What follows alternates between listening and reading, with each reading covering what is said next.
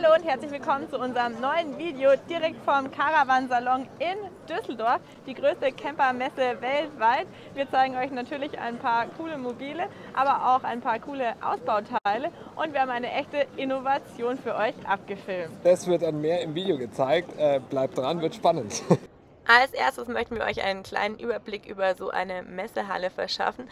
Da gibt es verschiedene Hallen, eben welche mit Caravans, aber auch welche mit Zubehörteilen. Und eins ist klar, dem Camperherz bleibt kein Wunsch offen, denn dort ist wirklich extrem viel geboten. Und das Ganze noch bis zum 4.9., also noch eine ganze Woche. Wir sind jetzt bei Ahorn Camp. Ich bin die Franziska Reichmann und ich leite bei Ahorn Camp die Marketingabteilung und bin froh, dass ihr heute an unserem Stand seid, damit wir euch ein paar von unseren Modellen zeigen können und euch auch ein bisschen was zu Aachen Camp erzählen können. Ja, sehr gerne. Dann fang doch gleich mal an mit den Modellen. wir haben eine breite Modellpalette und das startet bei unserem kleinsten Fahrzeug, dem Van City. Der ist äh, gerade mal 4,99 Meter lang und ist das optimale Fahrzeug für eine Work-Life-Balance. Also äh, unter der Woche in der City unterwegs, den Umzug äh, und noch die ganzen Kinder mit einpacken und am Wochenende dann einfach mal ein schönes Wochenende in der Natur haben. Dann haben wir auch noch einige Campervans auf Renault Master Basis. Die sind dann noch mal ein bisschen komfortabler mit Kühlschrank, mit Küche und mit Bad. Und wenn es dann noch größer und komfortabler sein soll, dann haben wir auch einige Wohnmobilmodelle. Alle auf Renault. Es sind ja riesengroße dabei, vom Kastenwagen bis zum Alkhofen. Es ist ja ein Wahnsinn, was ihr an dem großen Messestand auch hier habt. Ähm, eine Frage von meiner Seite aus. Ihr seid 30 Jahre jetzt alt geworden, oder? Genau, wir haben letztes Jahr 30-Jähriges gefeiert. Äh, wir wurden damals nämlich in der Gemeinde Ahorn gegründet im Odenwald und hatten 2013 unser Relaunch mit ähm, neuem Standort, neuem Team, neuen Modellen. Und äh, seitdem sind wir eben sehr stark gewachsen und äh, sind jetzt auch happy mit so einem großen Team und so einem großen Stand auf der Messe zu sein. Und äh, was zeichnet uns eigentlich aus? Wir haben äh, Fahrzeuge, die vor allem auch für Einsteiger geeignet sind. Also ähm, selbst wenn man jetzt ganz neu dieses äh, Camping Erlebnis ähm, leben möchte und ein eigenes Fahrzeug haben möchte oder sogar auch nur mieten möchte, ist es eben auch mit uns möglich, mit unserer Ahorn Rentvermietmarke. Die Fahrzeuge sind sehr modern gestaltet, wir haben ein tolles modernes Design und arbeiten eben sehr lösungsorientiert und nutzerfreundlich und das Ganze immer auf dem sicheren Renault-Chassis. Und was mir auch ganz wichtig ist oder was ein nicht wegzudenkender Punkt ist, ich kann ja mit dem Renault in jede Renault-Werkstatt und Renault, wenn ich richtig überlege, ich bin so ein bisschen autoaffin, ist einer der größten Autohersteller ist eigentlich ein sehr, sehr cooler Punkt, weil ich kann es überall richten und reparieren lassen, soweit, oder? Genau, wir haben nämlich auch drei eigene Niederlassungen deutschlandweit, aber wir arbeiten auch mit 40 Renault-Partnern zusammen, wie du gerade schon gesagt hattest. Also man kann einfach auf der Webseite seine Stadt eingeben und findet direkt im Umkreis einige Renault-Autohäuser, die mit uns zusammenarbeiten. Das bedeutet, dass man Service- und Dichtigkeitsprüfungen dann auch einfach um die Ecke erledigen lassen kann. Sehr gut. Vielen Dank, Franziska, an der Stelle. Gerne. Na, dann lass uns doch direkt mal in die Modelle schauen. Super, so machen wir das jetzt. Jetzt geht es auch gleich los zu unseren einmal teilintegriert und einmal Alkhofen. Schauen wir mal rein, oder? Wenn Platz ist. Ab geht's in den Alkhofen. Kommt mal mit. Also, hier haben wir schon mal die Sitzecke. Da kann man übrigens den Tisch in alle Richtungen verstellen und verschieben. Ich muss gerade, ui, schaut mal, das ist echt genial, finde ich. Und runter geht es übrigens auch noch, denn hier oben im Alkoven habt ihr eins der zwei fixen Betten und das finde ich auch super geil. Da kann man oben liegen und unten kocht einer, denn hier auf der anderen Seite ist natürlich die Kochnische mit drei Platten sogar und hier natürlich der Wasserhahn. Alles schön klein verstaut. Und hier drüben das Badezimmer man kann die Dusche auch nach draußen ziehen. Das ist uns immer wichtig, weil wir werden das vermutlich als Stauraum umfunktionieren. Aber wer möchte, kann natürlich auch innen duschen und, äh und hier hinten nochmal zwei fixe Betten. Ähm, da hätte ich allerdings den etwas kleineren im Auge. Der hat dann hinten auch nochmal so wie im Alkoven so ein Schrägbett. Der ist jetzt 6,90 Meter, das ist schon ganz ordentlich. Aber natürlich dementsprechend ein gigantisches Raumgefühl. Soft Close Scharniere. Und ja, Lichter mit Touch hieß es, aber das ist kein Licht, sondern das hier. Uns natürlich auch besonders interessant die Heckgarage, weil der Plan wäre eben zwei Fahrräder in die Heckgarage zu tun und zwei dann hinten drauf auf den Fahrradträger, sodass man eben wenn man nur mit zwei Bikes unterwegs ist, die Möglichkeit hat, ohne Fahrradträger zu fahren oder eben auch, wenn man im Winter unterwegs ist, die Fahrräder nicht dem Salz der Fahrt ausgesetzt sind. Oder wenn Petra nicht brav ist, dann kommt sie einfach in den Kofferraum. Ich bin der Busfahrer. Petra hat euch jetzt den Alkhofen äh, vorgestellt und ich zeige euch jetzt mal den teilintegrierten. Der Unterschied ist, der Alkhofen hat ja diesen, ich nenne ihn Bauch nach oben, wo man noch zwei Schlafplätze hat. Und bei diesen hier kann man ein Bett innen runterfahren. Man sieht es auch hier an der, das ist der Ahorn Camp T640, sieht man es recht gut. Nacht, Bett runter, Tag, Bett nach oben gefahren. Dann schauen wir jetzt einfach mal rein, was es so gibt. Wow. Das ist der teilintegrierte. Hier kann man sozusagen, wenn man schlafen geht, das Bett komplett runterholen, das, was jetzt leider nicht möglich ist, weil die Zündung nicht an ist. Aber das sieht man hier oben. Also hier kann man es dann runterfahren. Ja, ähm, große Sitzbank plus die zwei Fahrersitze zu drehen. Ein bisschen anders. Die Küche ist hier auf der rechten Seite. Und ich habe hier hinten äh, komplettes Bad. Wow, das ist ja groß. Plus leider kleinere Heckgarage. Aber deswegen gibt es ja zwei Stück. Für jedes Bedürfnis ist es praktisch das Richtige. Ich kann hier ganz normal sitzen und hier ganz normal duschen, wenn ich will. Tipp, tipp. Welchen Schrank? Also, ah ja, hier ist dann noch der Schrank. Wow. Hier sind noch Schubladen. Wow. Wow, wow. Perfekt. Großes Bad, wer es mag. Kleine Küche, aber auch mit drei, oder? Ja. Ein Herd mit drei Gasflammen und hier wiederum das gleiche. Ah ja, genau, wie bei Petras. Wow, und hier ist die Sitzecke. Den kleinen, den gibt es in zwei Varianten. Einmal das Dach nach vorne, einmal das Dach nach hinten aufgestellt. Und das hat einen ganz einfachen Grund. Bei dem Dach nach vorne aufgestellt hat es einen relativ normalen Aufbau, so wie man den gewohnt ist mit Küchenzeile. Aber hier hat es hinten ein Klo drin, also quasi eine Art Badezimmer. Und das macht diesen Van hier sicherlich ganz besonders. Wem es wichtig ist, auch in der Kompaktklasse im Bus aufs Klo zu gehen oder auch zu duschen, der ist hier dann richtig aufgehoben. Trotzdem natürlich auch ein bisschen Ablagefläche mit Küchenzeile und natürlich kann man das Bett auch ganz normal runterklappen, um zum Schlafen. Hier bei dem gewohnten Aufbau, da habt ihr eben hinten natürlich kein Klo drin, sondern so die Hinterseite von der Rückbank und habt die Küchenzeile wie gewohnt ganz normal auf der Seite die Küchenzeile quasi wie gewohnt. Ahorn schaut auch in die Zukunft. Hallo Jasper, was hast du hier im Portfolio? Genau, moin. Äh, ich bin Jasper von Revotion und wir haben hier zusammen mit Ahorn Camp ein Pilotprojekt aufgebaut. Äh, das bedeutet, wir als Revotion machen Caravans und Boote smart und so äh, haben wir eben durch Ahorn die Möglichkeit gehabt, jetzt dieses Fahrzeug speziell exklusiv für die Messe umzubauen. So, das heißt, wir können wirklich alles an Bord steuern, jedes elektronische Gerät. Es geht uns darum, wirklich weg von diesen Einzelpanels, von diesen äh, kleinen Mini-Anzeigen, die teilweise auch noch in Schränken versteckt werden, hin zu wirklich einer großen zentralen Steuerung, mit der man wirklich alles an Bord vernünftig und mal modern, bisschen sexy angegangen ähm, steuern kann. Heißt, ich kann über jedes Tablet, Smartphone etc., über diese App gehe ich mal von aus, das dann bedienen. Ganz genau. Wir haben äh, sowohl ein Touchpanel, was fest angebaut, angebaut ist, damit man einfach seine bekannte Steuerung an der gewohnten Stelle hat. Wir haben aber auch die Möglichkeit, über unsere App ähm, sowohl halt dazu noch hier vor Ort zu schalten, zu steuern, äh, aber eben auch aus der Ferne, weil wir äh, das Ganze mit dem Internet verbunden haben. Das heißt, man kann wirklich jede Funktion, die man vor Ort kann, also Lampen schalten, das können wir uns gleich mal angucken, Lampen schalten, äh, Sensoren auslesen, Standort checken, kann man eben auch aus der Ferne. Ah, perfekt. Also wenn ich mit, auf der Biketour unterwegs bin mit Petra, kann ich schauen, äh, wie mein Ladestand ist und äh, wie es so aussieht in meinem Ahorn-Camp. Ganz genau. Alle Füllstände, alle Ladestände. Überhaupt könnt ihr checken, dass es überhaupt noch da steht. das ist auch schon mal sehr wichtig. Ähm, von daher auch dieser, dieser, Sicherheitsaspekt ist auf jeden Fall großgeschrieben da. Also ich kann mich benachrichtigen lassen, auch habe ich das richtig verstanden, wenn irgendwas ist, in der, wenn das Auto bewegt wird oder sonstige Sachen. Genau, dadurch, dass alles schon digital ist, können wir eben auch digitale Alerts rausschicken, zum Beispiel ans eigene Handy. Ähm, das geht bei einfachen Füllstandswarnungen los, so hey, äh, Grauwasser ist bald voll oder, oder äh, geht auch weiter dann hin zu Batterie. Gerade Tiefenentladung ist ein riesiges Problem ähm, und da warnt halt unser System dann davor, weil es eben digital ist und das erkennt. Und ihr seid ein Startup, was einfach aus einer Idee zu einem Startup geworden ist.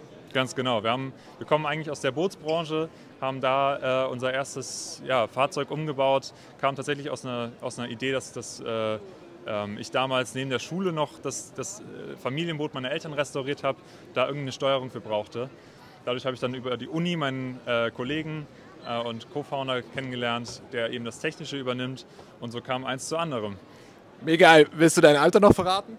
Ich bin aktuell 21. Oh, Petra, wir werden alt, Scheibenkleister. so, jetzt können wir reinschauen. Genau, dann gehen wir mal rein. Mal rein. Ja. Jetzt bin ich mit Jasper mal äh, nach drinnen gegangen. Hier ist das Display, Jasper, oder? Ganz genau. Hier sehen wir die zentrale Steuereinheit. Und man sieht keine Einzeldisplays, sondern wirklich ein einziges großes Display. Und hier sehen wir alle Aspekte vom Fahrzeug, die man sich irgendwie wünschen kann. Äh, ich würde sagen, am besten probierst du es selber einfach mal aus. Okay, also ich kann jetzt hier einfach draufklicken, ich Genau. bin in Düsseldorf. Genau, genau. Also zum Beispiel. Mal bitte. Dann könnt ihr beide. Nee, Ach so. dann könnt ihr. Genau, äh, Karte kommt noch tatsächlich, ähm, aber alles andere hat man sowohl die, die Gesamtübersicht über die Widgets, als auch wenn man zum Beispiel draufklickt, nochmal eine erweiterte Ansicht ähm, halt über, über die, die Informationen. Zum Beispiel, und eigentlich mit das Coolste und Sinnvollste ist eigentlich die Energieüberwachung, weil wir nicht nur sagen können, was genau rein und raus geht, also nicht nur einfach äh, über, über die ähm, Spannung gehen, sondern wir können genau sehen, was reingeht, aber, und noch viel cooler, wir können auch sagen, woher der Strom kommt. Das heißt, man sieht halt hier direkt in dieser Miniatur, auch mit dem kleinen Ahorn äh, personalisiert, ähm, dass wir sehen, es kommt gerade was vom Ladestrom rein, wir verbrauchen auch gerade was, also in Summe haben wir gerade, laden wir so gesehen mit 7 Watt, weil es eben voll ist. Ähm, wenn jetzt zum Beispiel die PV, äh, draußen stünde und die PV-Anlage funktionieren würde, wird man auch genau sehen, was durch die PV, äh, PV-Anlage reingeht. Ähm, mit, dem, mit dem Ladebooster exakt das gleiche. Und allein schon überhaupt mal eine Prozentanzeige zu haben, ist auch schon mal, ich sag mal, beim Camping nicht ganz, äh, äh, ganz Standard, sagen wir es mal so.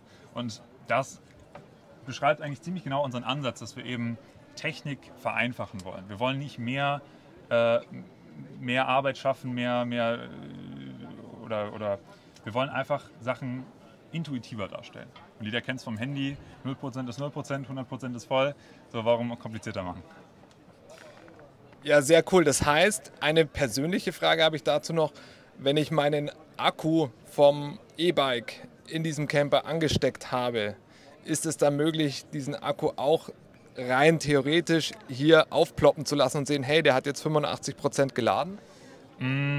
Theoretisch wäre es möglich tatsächlich, weil wir eben ein komplett modulares System haben. Das heißt, es ist nicht nur einfach eine Box, wo so alles angeschlossen wird, sondern wir haben einen Hauptcomputer und dazu dann ganz viele Module. Das kann man sich so ein bisschen vorstellen wie so WLAN-Steckdosen im, im Smart Home. So, und dadurch kann man sich die Module zusammenstecken, wie man will. In dem Fahrzeug hier haben wir äh, 14 Module verbaut, äh, die hier ringsrum einmal verlegt sind ähm, zu den Endgeräten, die halt auch dann die verschiedenen Funktionen haben. Aber theoretisch wäre das möglich, ja. Mega geil. Und auch für alle anderen Fahrzeuge, die das nachrüsten will, seid ihr bestimmt gewappnet, oder? Ganz genau. Man muss sagen, hier äh, Ahorn hat einen richtig geilen Move gemacht, dass sie uns das hier, dass sie uns die Freiheit hier gelassen haben, dass sie uns hier wirklich das Ding hingestellt haben, gesagt haben, macht mal was Geiles draus.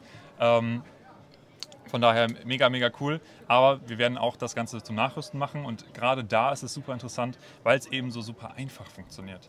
Man kann sich wirklich diese Module überall ranstecken, überall wo man Strom hat, einfach an 12 Volt ranhängen und ähm, über die App konfiguriert man dann, was es genau ist. Also ist es zum Beispiel Frischwasser, man kann das Icon auswählen. Ähm, bei den Schaltern zum Beispiel kann man genau sagen, ähm, ja, was es ist. Und so macht man eben seine persönliche Steuerung, baut man sich so selbst zusammen. Perfekt, Jasper. Das ist erstmal viele Informationen. Äh, vielen Dank an der Stelle. Da nicht für. Viel Spaß noch. Was würdet ihr denn von so einer zentralen Steuereinheit halten? Ich stelle mir das ziemlich cool vor, weil ich bin tatsächlich immer am Abchecken, was macht der Batteriestand, was macht der Wasserstand, äh, was macht das Solarpanel und, und, und. Für uns ging es dann aber schon wieder weiter und wir haben dieses coole Mobil mit sehr viel Solarpower und Sternenhimmel entdeckt. Wie hätten wir da nicht mal fragen können, ob uns das der Hersteller oder besser gesagt der Selbstausbauer vorstellen könnte?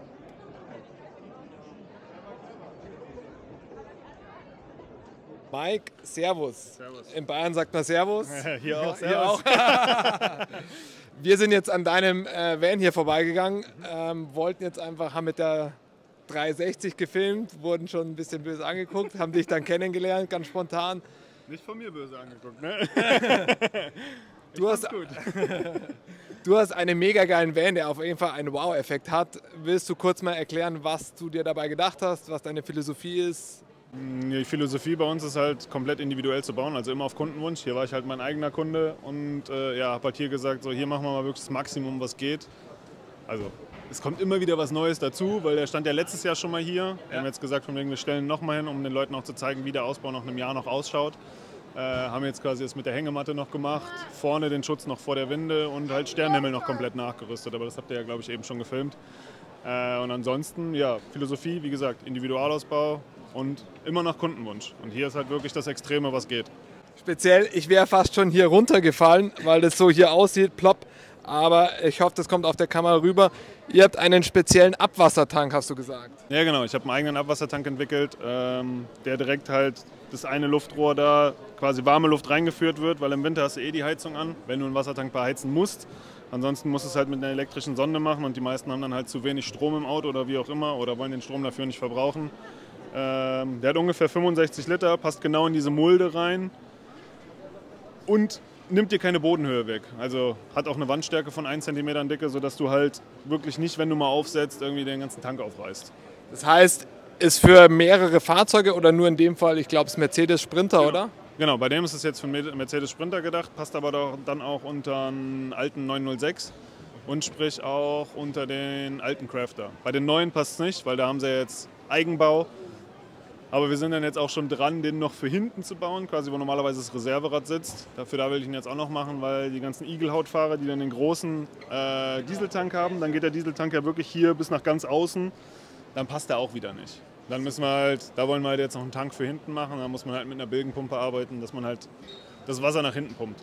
Mike, äh, deine Anbauteile sind ja auch mega geil. Äh, sind die auch komplett von euch oder wie ist da der die ganzen Anbauteile beziehen wir, wie man hier auf, dem, auf der Beachflex sieht, von Overland Equipment. Das baut der Christian von OVE alles für uns. Auch immer so nach Wunsch, wie wir es haben wollen. Also sprich, der baut die Dachträger ein bisschen spezieller für uns. Äh, weil wir es bei dem zum Beispiel haben, wir haben oben drei Solarplatten drin liegen. Und da sind halt wirklich diese, sag ich jetzt mal mit dem Hartgehäuse, sind jetzt keine flexiblen und da hat er den Dachträger wirklich für, so für uns angepasst. Frage von mir, Gewicht, wo liegen wir bei dem Auto? Äh, bei dem liegen wir jetzt bei 3,8 Tonnen. Aber mit 140 Liter Wasser schon drin. Ne, sogar 148 Liter Wasser drin und äh, Dieseltank voll gewesen. Okay, äh, 8 Liter in München Bier trinken ist kein Problem. Jetzt ist das Oktoberfest, aber ja, bist du herzlich eingeladen, wenn du da bist, komm vorbei. Danke an der Stelle, Mike, war sehr, sehr cool. Und jetzt schauen wir, dass wir vielleicht noch mal kurz nach drinnen filmen, weil oben war ja schon der Hammer. Jetzt dürft ihr auch noch einen Blick ins Fahrzeug werfen. Wow, mit Sternenhimmel. Wie genial.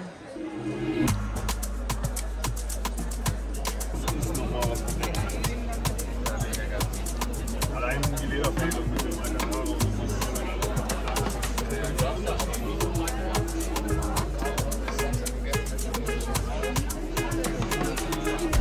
den Campern geht es in die Ecke zum Zubehör, weil was hilft der beste Camper ohne dem richtigen Zubehör? Schauen wir mal, was es da so gibt. Da sind wir schon an der richtigen äh, Sache, weil Petra möchte immer ihre Lichterkette und jetzt hätten wir ein LED-Band, wo wir den kompletten Camper ausleuchten können, oder? Bitte sagt Nico, dass Lichterkette und LED-Band nicht das gleiche. So kitschig. Krass, gebt euch einfach auch mal dieses Monstrum. Da bräuchte ich einen anderen Führerschein. Wir sind jetzt bei der Energie angekommen, weil nichts ist wichtiger als Strom im Bus zu haben. Gerade jetzt mit dem Thema E-Bike, Föhn, was man nicht alles betreiben will. Du wirst lachen, mir ist das ganz schön wichtig und dementsprechend, ich habe gehört, bei euch kann man mehr aus dem gleichen Platz rausholen. Das ist richtig, aber den Föhn brauche ich auch. Also so ist es jetzt nicht. Ich habe diese Technik natürlich schon seit äh, anderthalb Jahren in meinem Wohnmobil verbaut. Föhne mir die Haare, betreibe eine Senseo, was man so hat im Wohnmobil, Wasserkocher. Äh, das ist natürlich mit diesen großen Batterien sehr viel leichter geworden weil wir hier eine, äh, eine 300 Ampere-Stunden äh, Untersitzbatterie haben, die wir unter dem Beifahrersitz unterbekommen äh, mit den Maßen. Die sind etwa doppelt so groß wie die herkömmliche 100 Ampere-Stunden Batterie, die wir hier sehen können. Ähm, gewichtsmäßig ist es ähm, etwas, ja, etwa gleich das Dreifache. Also da hat sich nichts, nicht, ich habe keine zusätzliche Gewichtsersparnis. Wenn ich das allerdings mit der AGM-Batterie daneben vergleiche, die für sich genommen schon 27 Kilo wiegt, da bräuchte ich drei davon, eigentlich sechs, um hier die gleiche Energiemenge herausziehen zu können. Und da liege ich dabei weit über 100 Kilo. Und hier habe ich halt 35 Kilo. Und das ist doch äh, entscheidend, gerade im gewichtssensiblen Bereich im, im Wohnmobil. Und ich glaube, die kann man auch komplett leer saugen, ohne dass sie Schaden nehmen. Und bei denen sollte man 40 Prozent drin lassen. 50 Prozent empfehlen wir Feierabend mit der Entladung. Und hier kann ich tatsächlich äh, 90 plus X entnehmen. Äh, ich sollte vermeiden, dass sie abschaltet, aber selbst wenn sie das tut, sobald ich lade, geht sie wieder an und dann äh, wird sie vollgeladen. Also du würdest empfehlen, wenn man ein Wohnmobil hat mit AGM, dann sollte man lieber auf die Lithium umrüsten, weil man einfach mehr Freude im Betrieb hat? In jedem Fall. Also zum einen habe ich äh, eine Gewichtsersparnis, kann die Frau wieder mit in Urlaub nehmen. Äh, zum anderen äh, ist es einfach so, äh, dass ich den saubereren Strom auch bekomme. Äh, ich kann empfindliche Geräte betreiben. Es ist einfach sinnvoll und die, die Technik, die momentan up to date ist. Und was macht euch dann so besonders? Das kann ich dir gar nicht sagen. Also es gibt hier ganz viele äh, Batterieanbieter, die, ähm, die ihre Produkte präsentieren und alle sind in, auf ihre Weise einzig. Wir haben allerdings so einen Comport an unserer Batterie. Das heißt, wir haben einen direkten Zugang auf die Software und können mit unseren Kabeln äh, und mit einer speziellen Software die äh, Batterie überprüfen, sollte es mal irgendwelche Probleme geben. Also das heißt, ich bin unterwegs, habe ein Problem, kann dann wieder zu euch kommen und finde relativ schnell eine Lösung. Sofort. Das klingt doch schon mal sehr gut. Vielen Dank. Sehr gerne. Das war schon wieder von uns. Wir hoffen, es hat euch gefallen. Lasst uns gerne einen Daumen nach oben da und dann bis zum nächsten Mal. Tschüss. Ciao.